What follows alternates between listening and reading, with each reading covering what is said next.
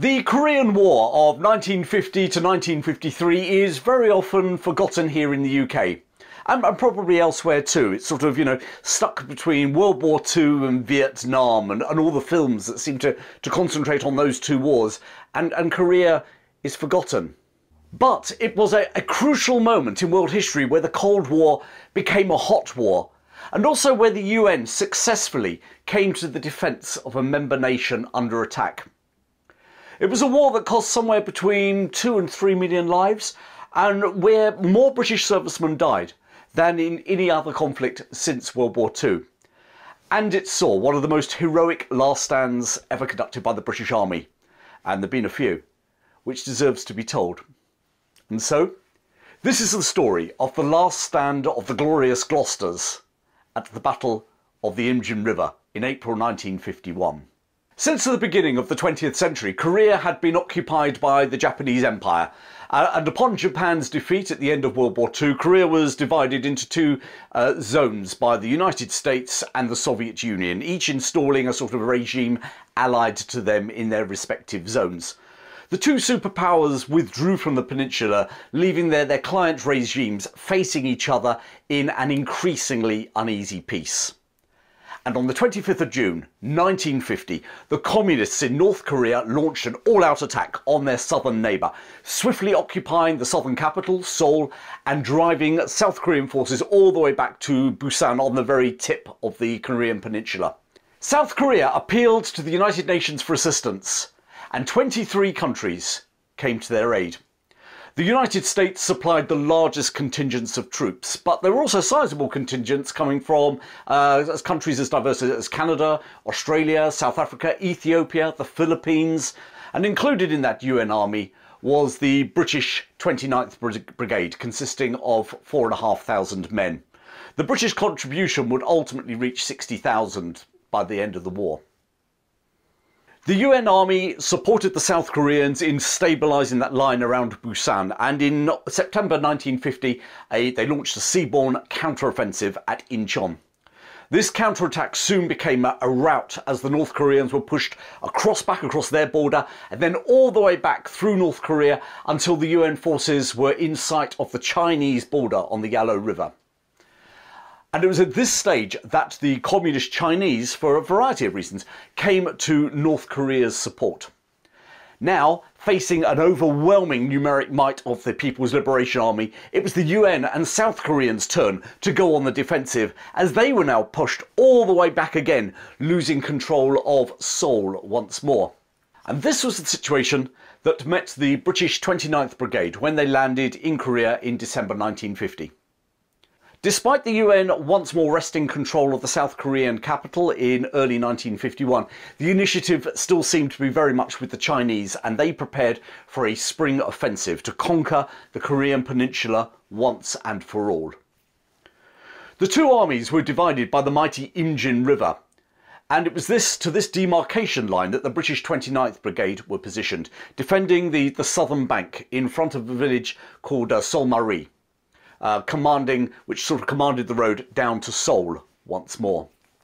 The British force, commanded by uh, Brigadier Brodie, consisted of the Royal Northumberland Fusiliers, the Royal Ulster Rifles, the 8th uh, King's Royal Irish Hussars, and the 1st Battalion of the Gloucestershire Regiment, who we're going to hear a lot more about in a little while.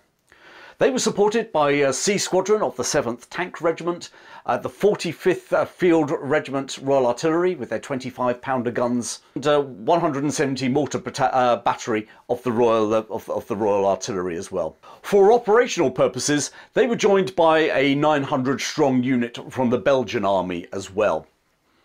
The men of the 29th Brigade, the British Brigade, were a mixed bag of regular soldiers, recalled regular reservists, um, um, men from other regiments who had volunteered for active service in Korea, so-called Korean volunteers, and indeed national service conscripts.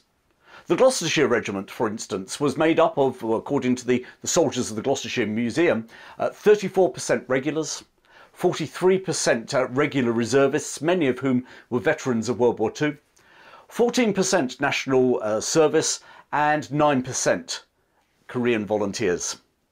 Despite this uh, mixture of backgrounds and experiences, they were to acquit themselves with the utmost valour, as we're going to find out in a moment. On the 22nd of April 1951, the Chinese launched their spring offensive. The objective was once more the cap capture of Seoul and then the elimination of uh, UN forces in Korea. 300,000 Chinese troops attacked on a 40 mile wide front. Brodie's 29th Brigade was holding a 12 mile front on the Imjin River alongside the US 3rd Infantry Division, and they faced three whole divisions of the Chinese 63rd Army, about 27,000 men against Brodie's 4,000. The brunt of that Chinese attack fell on the 800 men of the Gloucestershire Regiment, who were to face attacks of nearly 10,000 Chinese troops over the coming three days. In this sector, the spring uh, offensive began with waves of Chinese troops wading across the wide Imjin River.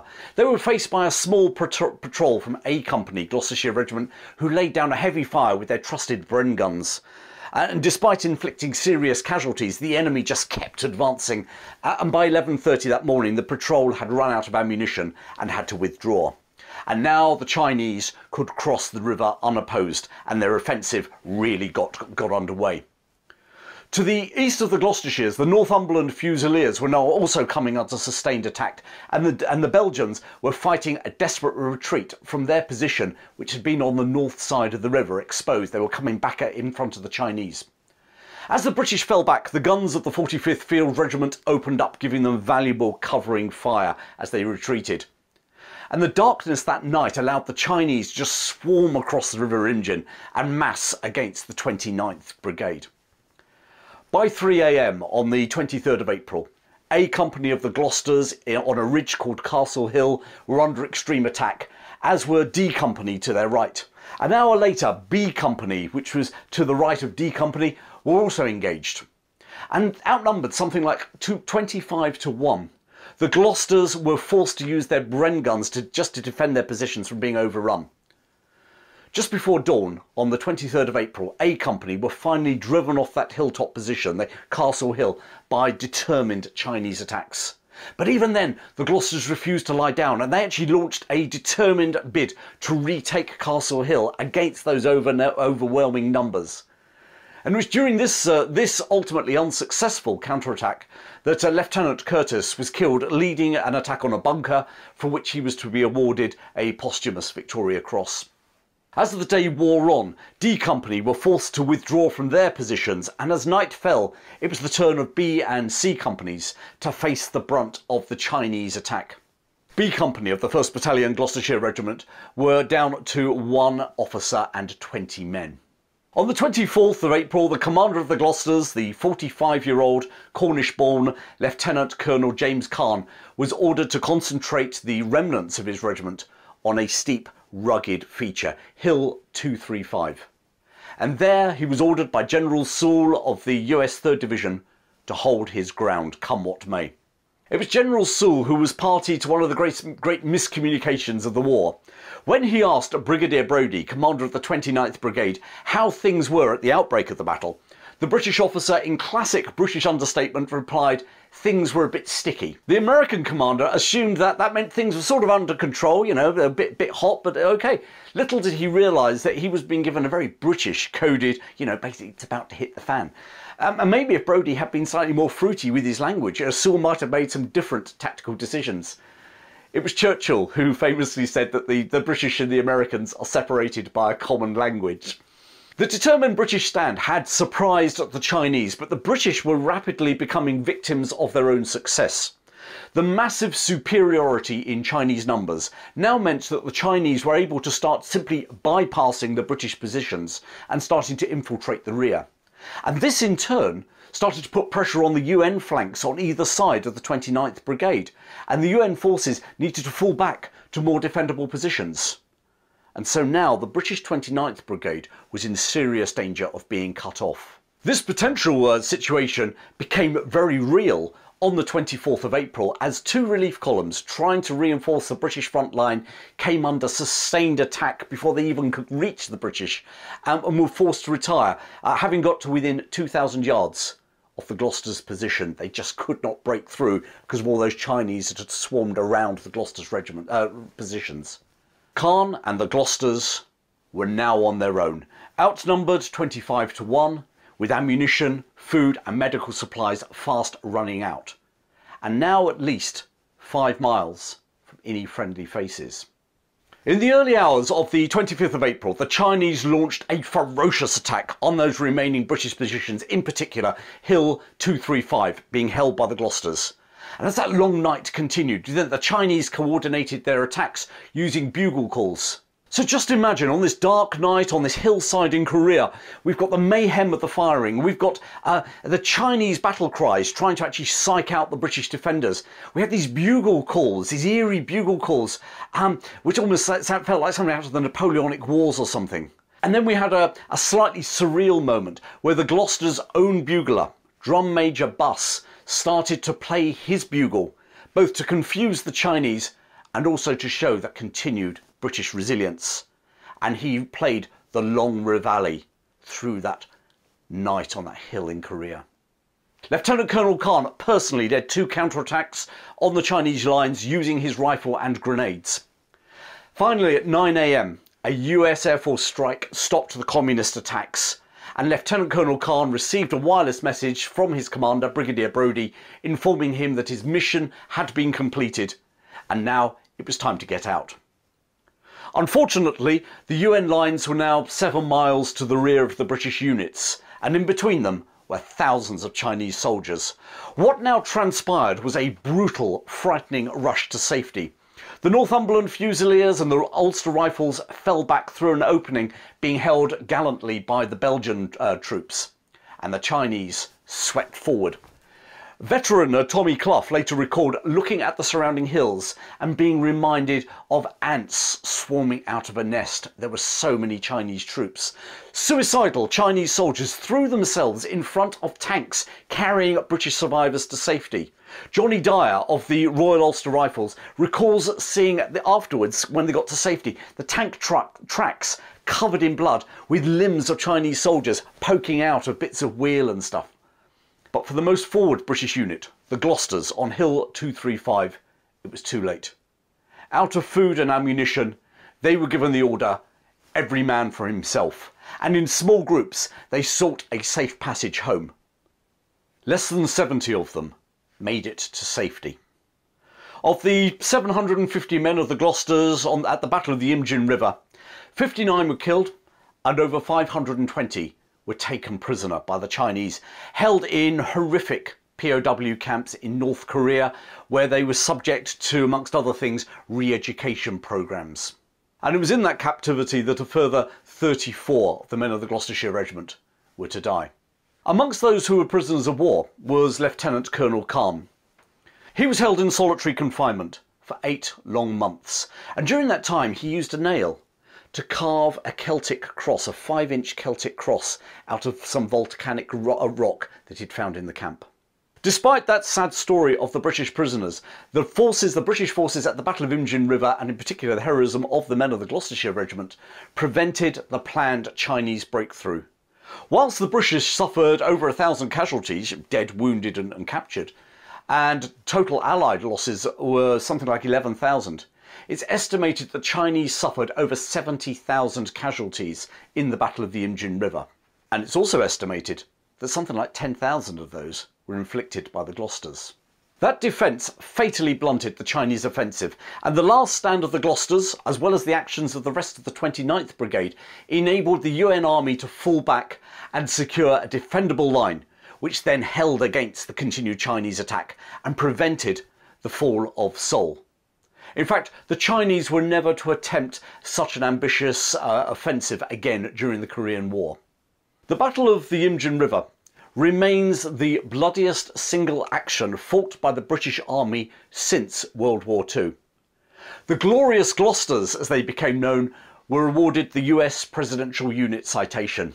At the ceremony to, uh, to present the award, the commander of the UN forces, the American General Van Fleet, uh, described their actions at the Battle of Imjin River like this. He said they were the most outstanding example of unit bravery in modern war. And the US presidential citation itself reads, without thought of defeat or surrender.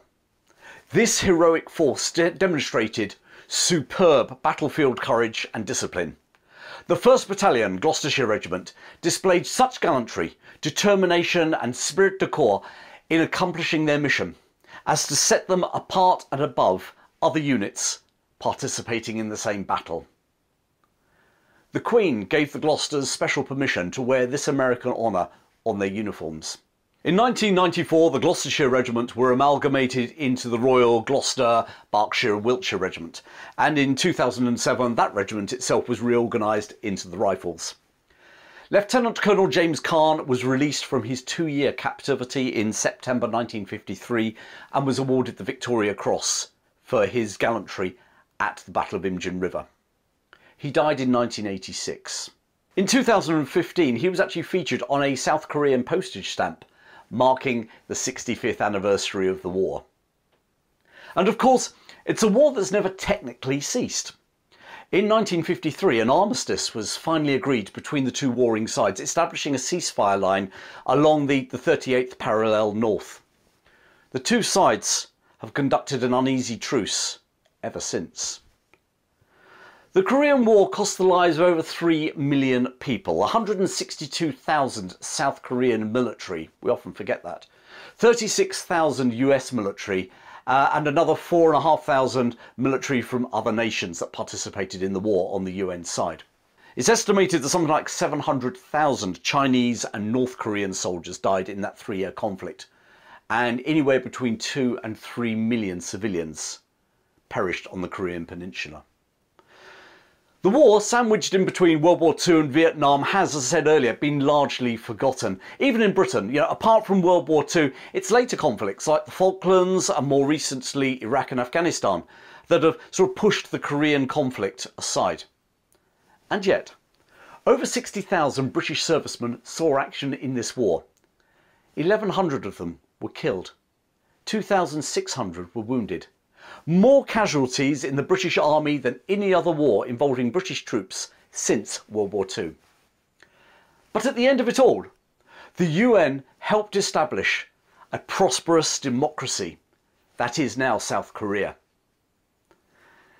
The small stone cross, painstakingly carved by Lieutenant Colonel Carne whilst in captivity, is now on display in Gloucester Cathedral, where the men who did not return from this battle are also remembered in a stained glass window.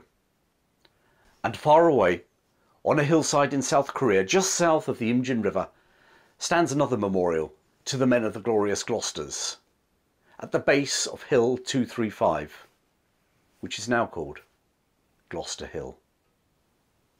Thank you. Thanks for watching and if you enjoyed this video then please subscribe to my channel so you don't miss any of my new releases, maybe even support me with some crowdfunding. Links to both are appearing, well, about now. They're also in the description below. Once again, thanks for joining me and until next time, take care and I look forward to seeing you very soon.